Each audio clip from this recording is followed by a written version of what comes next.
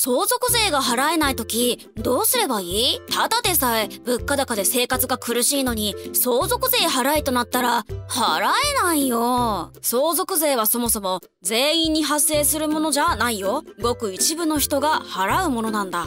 でも相続したもののほとんどが不動産で手元に現金がなくて困ってしまったというケースは結構あるからね。相続税が払えない時にできることを紹介します。先輩は相続税を納める人が少ないって言ってたけどそれって先輩の肌感覚じゃないの？実際に国税庁が発表した統計表を紹介するとこんな調査があるよあー確かにこの割合を見ると比較的少ないね。ってことは相続対策はそもそも選ばれた人間だけ気にすればいいってことか。そういうことじゃないよ。賢く相続対策しておくことで節税だけでなくトラブルに巻き込まれないからどんな方でも対策しておくことをおすすめするよ。でも相続税がめちゃくちゃ発生する人ってめちゃくちゃお金持ってるから大丈夫なんじゃないの？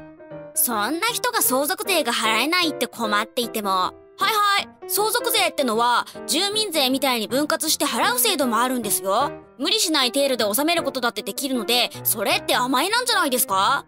って誰かが言ってきそうだよね。実は相続税は一括納付が原則なんだ。ってことは相続税が300万円発生した場合300万円をポーンと出さなきゃいけないの？そういうこと。ああ、50万円ならすぐに用意できるけど、300万円はちょっと、ってこともあるな。これじゃあ、相続税払うために、場合によっては生活がめちゃくちゃになってしまうこともありそうだ。相続のための労働は、絶対に嫌だ。だから、相続税ではある程度、納税資金を確保しておくことは大切なんだよ。納税資金の確保の大切さは分かったけど、具体的にどうすればいいのさ？これから対策を解説していくね。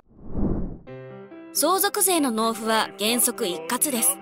そのため相続税が発生しそうな場合はある程度納税資金を確保しておく必要があります。相続税が一括で払えない場合は次の対策があるよ。これから紹介する対策はあくまで相続税を一括で納められなかった時に行う対策なんだ。間違ってもこの対策ありきで考えちゃダメだからね。一つ目の遠納は相続税を分割で納める方法だよ。あれ？先輩さっき一括で税金を納めようって言ったのに分割して納める方法があったんじゃん。うさつき、ケチ、このムフムフ女。えっ、ー、と、遠納の条件は次の通り。この4つを全て満たして初めて遠納ができるんだ。4つの項目を見ても、ピンとこないな。簡単に言うと、遠納ができる人は、相続税額が納税をできないような状況の相続人の人が、納税が困難となるような金額で、納税をするために、遠納税額及び利子税額に匹敵する担保を示す書類と、遠納申請書を提出した時に初めて利用できるよ。結構厄介な手続きだな。それに、遠納は20年かけて分割できるけど、利子税があるから結局損してしまうこともあるんだ。分割できるけど、一括の方が良さそうだね。二つ目の仏納は、金銭ではなく、物で納める方法なんだ。仏納で認められているものは次の通り。あれ ?3 つに分類されてるけど、これは何？これは仏納に順位があって、該当するものがない場合に、次の順位に移行して仏能として当てることができるよ。順位？なんじゃそりゃ要するに、不動産や株は持っていないけど、高級時計や金を持っている場合は、この動産を仏能として当てるというものなんだ。そういうことか。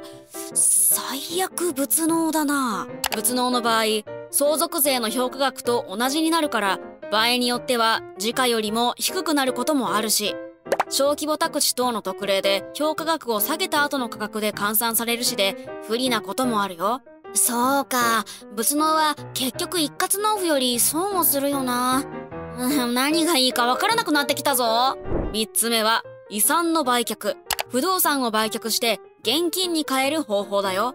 この方法は私もよくおすすめするケースなんだ。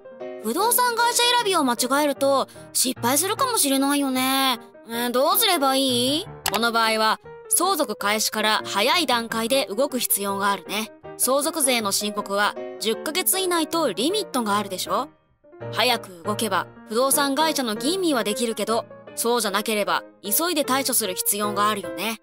ベストな方法ではないけど、遠納や仏納に比べて可能性があるから、遺産の売却も選択肢に入れておこう。4つ目は、金融機関から借りる。えー、相続税を払うのに、金融機関に借りるの？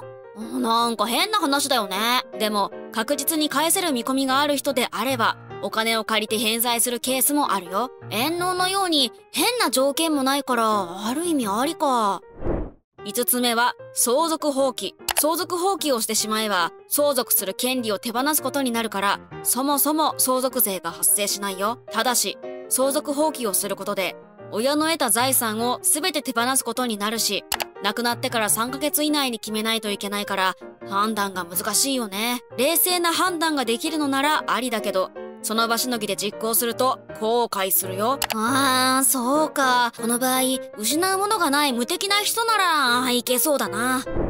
以上、5つの紹介した方法が、相続税が払えない場合に実行できる方法だよ。先輩的にはどれがおすすめ？